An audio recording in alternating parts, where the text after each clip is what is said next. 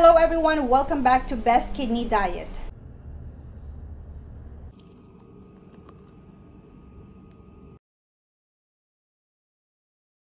Hello, hello, welcome back. Again, this is Hazel and I have been a stage 4 CKD patient for the last 13 years. Welcome to another video.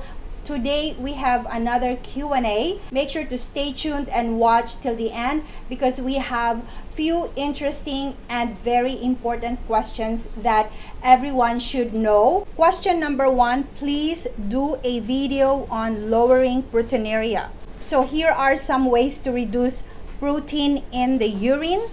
Uh, these are possible treatments that one can do to lower the protein in the urine. Top on the list is, of course, changes to your diet. I believe that any good doctor will say make some adjustments to your diet, whether you have diabetes, kidney disease, high blood pressure, etc. I have a problem with proteinuria. My kidneys leaked protein into my urine as much as possible, I want to focus on a plant-based diet. So that's one of the changes that I did being that I have this problem. The second one is weight loss.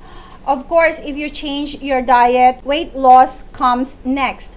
I know some of you worry about losing weight after doing a plant-based diet but this actually manage conditions that impair kidney function. So if you are worried about losing weight or have lost weight because you have changed your diet into plant-based, don't worry about it because this may help you manage some of the underlying conditions. This may actually help you protect your kidneys from further damages. The third one is ask your doctor for high blood pressure medications or your doctor may actually have prescribed you one already in my case, I take 50 milligrams of losartan. I've said that before to help control protein in my urine. So if I look at the history of the protein in my urine, it goes from 100 to a 300 and goes back to 100. It depends on the uh, milligrams that I have been taking. There were times when I was taking 75 milligrams and the protein went down to 100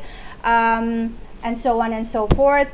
So ask your doctor or the, your doctor will tell you if you need a high blood pressure medication. Also, if you are diabetic, your doctor may prescribe medication or insulin to control high blood pressure as well. Finally, this is the worst case scenario, hemodialysis treatment if you're an end stage renal failure patient to manage high blood pressure and fluid. So those are five ways on how to reduce the protein in your urine. You need to change your diet. You need to lose weight. You need to ask your doctor about high blood pressure medication or diabetes uh, medications. And of course, if you are ESRD, hemodialysis, that's one of the ways to manage high blood pressure and uh, fluid in the body. So another important thing that uh, you have to find out also if you have protein in your urine is to find out first what's causing the proteinuria. Is it high blood pressure? Is it diabetes? Is it preeclampsia?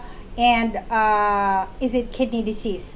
So in my case, I have protein in my urine because obviously I have a kidney disease and of course I also have a history of preeclampsia. I've mentioned that in the history of my condition and of course I do I do have high blood pressure because of the kidney disease. Um, now question is, can drinking water treat proteinuria? No, it will not unless you are dehydrated. Drinking water will dilute urine but will not stop the cause of kidneys leaking protein. If you drink a lot of water, of course, you're going to flush out all those protein in your body, but it's not really treating the cause of why you have protein in your urine. Drinking water is a good way to help get rid of high protein in your body, but it will not cure what's causing protein in your urine. How do you know that you have protein in your urine? It can be done through a simple test or a more complicated analysis.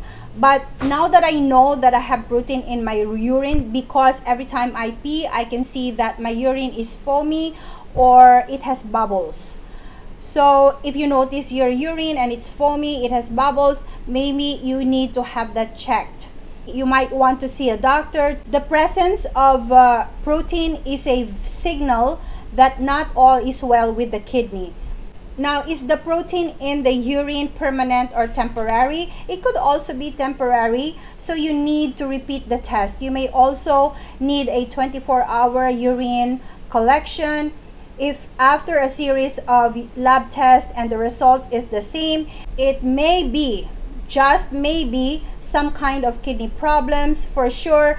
This is where you probably need more tests. Question number two Last week, my CREA was 1.12. I did some diet, repeated the test, and it was 1.2. My BP is normal, urine is normal. I'm taking 5 milligrams of amlo Um, amlodipine.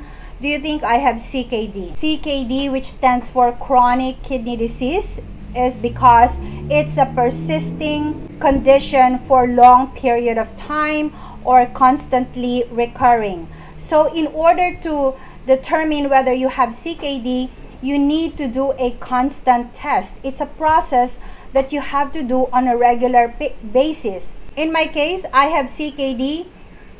Due to the many tests done over the years, I have blood tests every three months at least. And over the years, the lab results were consistent. It was seen on those results that there is in fact a problem in my kidneys. There were a lot of abnormalities like my creatinine, my BUN. You've seen that in my renal function panel test results that I've shown in my old videos.